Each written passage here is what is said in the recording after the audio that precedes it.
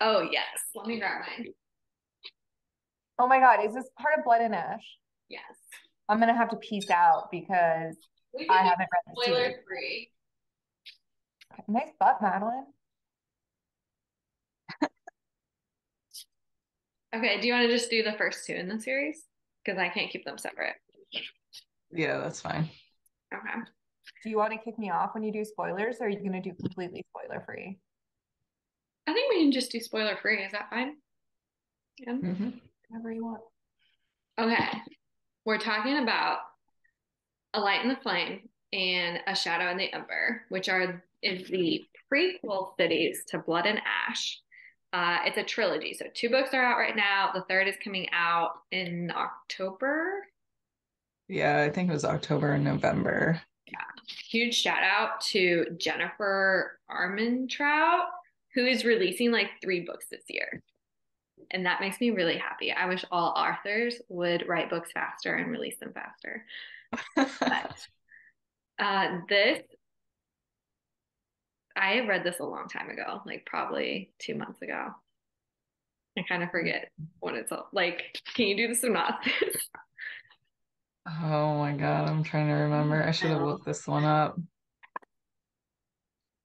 I Yeah, I read it the So there's this really pretty girl, and she's like a peasant, doesn't have powers. And then she meets this hot guy with dark hair, and it turns out she's the most powerful being in all of history, and they fall in love. It's I like mean, you're not that's pretty. you're not wrong. it's like the synopsis for like every fantasy book ever written. We Um, haven't done the we haven't done the first one, have we? no. What so is the she's main like, girl's name? That's what I'm trying to find. Oh, um, Nyktos and Sarah, Dina. Seraphena. Right. Okay. Yeah. Well, I don't. So she's living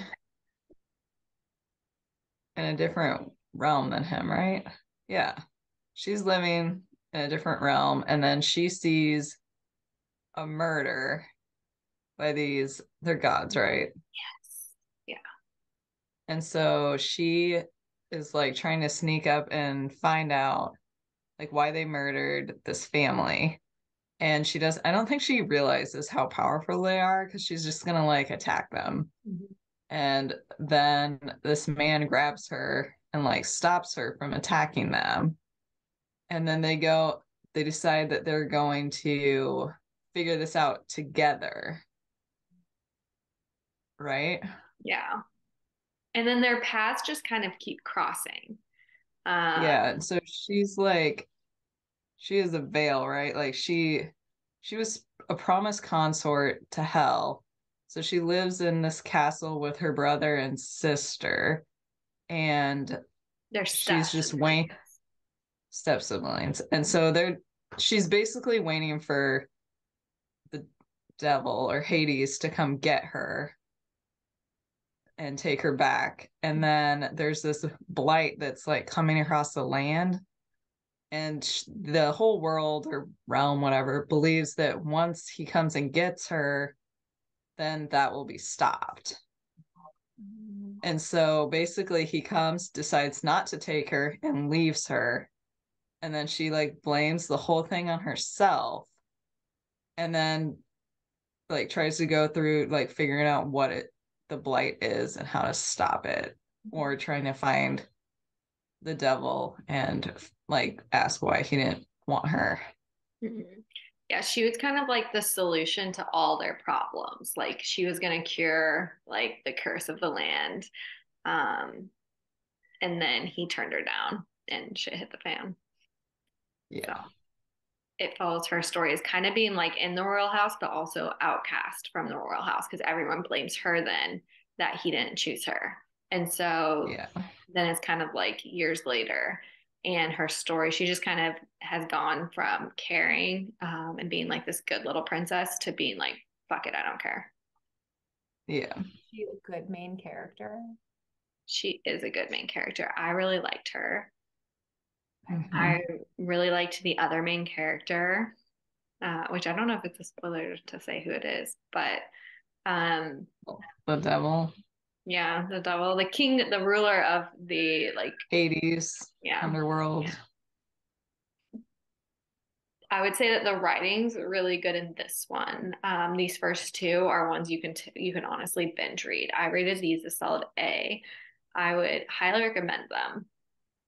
But I will say it's kind of like a double-edged sword because you have to read these to understand Blood and Ash. But Blood and Ash would be more of like a BB plus for me. Yeah, I would agree Oh. too. I gave Blood and Ash B plus, but these I gave A plus. Mhm.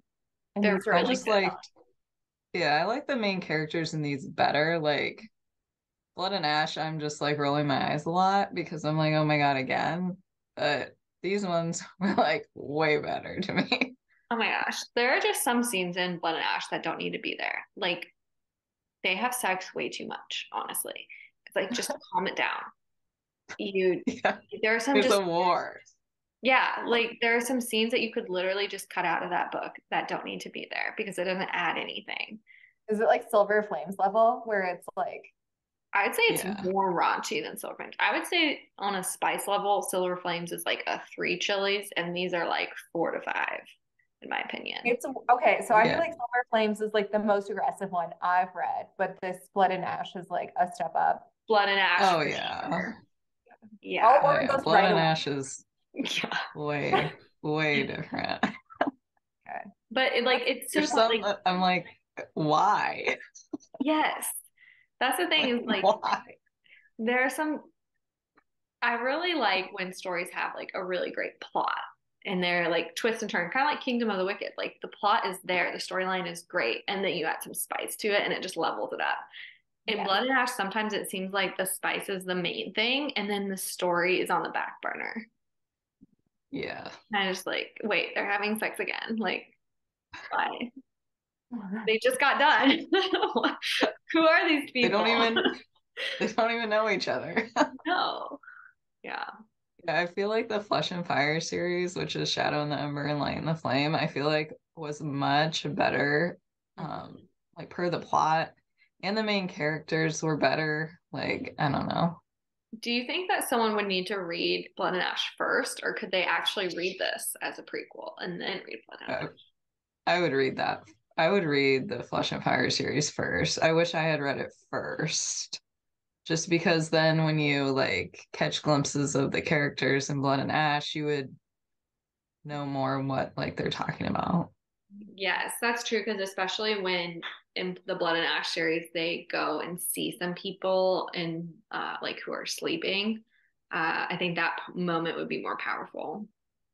Yeah, because like he says some things, and like if you've never read the Flesh and Fire series, you would have no idea what he's talking about. Like Yeah.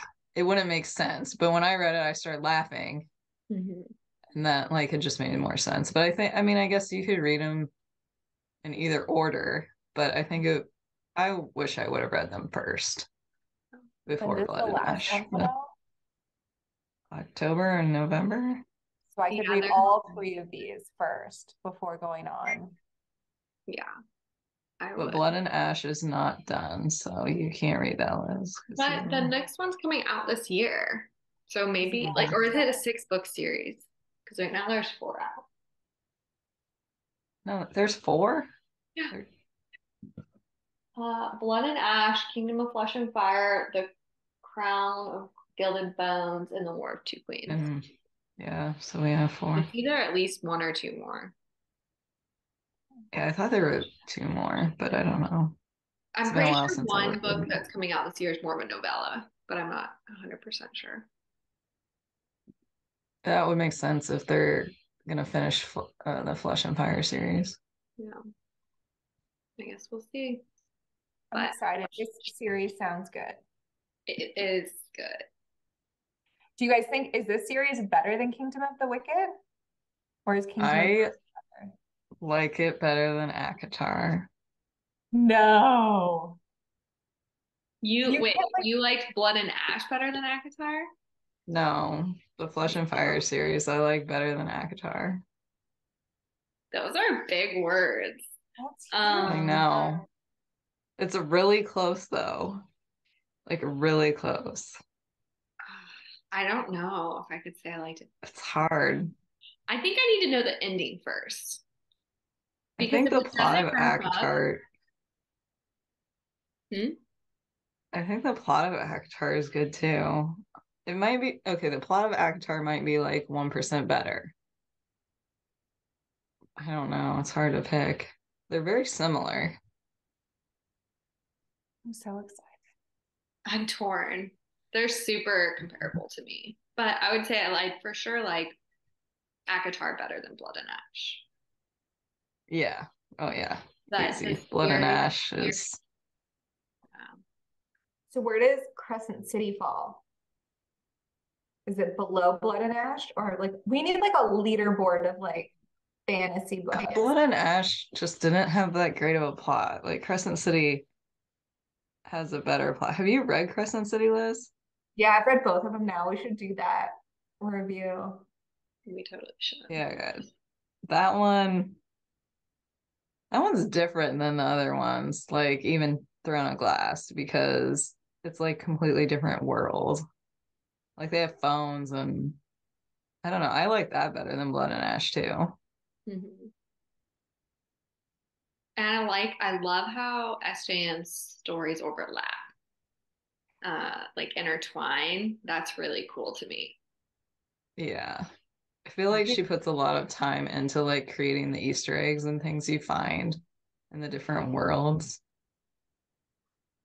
Like Splash the- and Fire doesn't do that really. I mean, there people are mentioned in Blood and Ash, but they're not like different worlds coming together or anything. It's really a true like prequel and then series.